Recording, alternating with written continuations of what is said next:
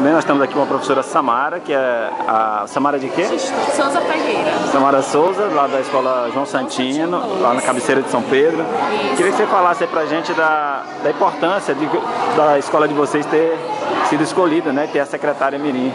A importância é muito grande, agradecer aos nossos alunos, aos nossos 251 alunos. A Maria Luiz está representando esses alunos, professores, aos 23 professores, zeladores e vigias. Nosso muito obrigado. Estamos imensamente felizes. O que, que você achou da iniciativa da gestão municipal? A nossa secretária Marcela Damasceno, uma excelente secretária, nós só temos a agradecer ela pelo apoio também, haja visto que ela está sempre na zona rural, sempre em nossa escola, nos dando todo o apoio ao nosso prefeito e ao nosso presidente da Câmara, vereador Catuléu, nosso muito obrigada.